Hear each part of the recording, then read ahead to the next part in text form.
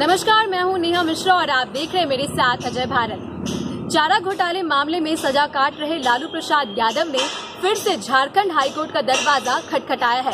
उन्होंने अपनी खराब सेहत का हवाला देते हुए झारखंड हाईकोर्ट से अपनी जमानत की मंजूरी मांगी है।